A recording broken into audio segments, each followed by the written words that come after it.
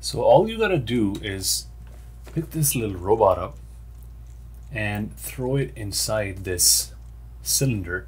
And now the bot is in uh, aggressive mode. It's gonna attack you. Uh, go inside the cylinder quickly before it resets. And all you do is just stand near the plant, inside the plant, and it walks straight into the plant. And boom. If you like this video, uh, hit the like button, consider subscribing, and don't forget to hit the bell icon. I'll catch you guys next time.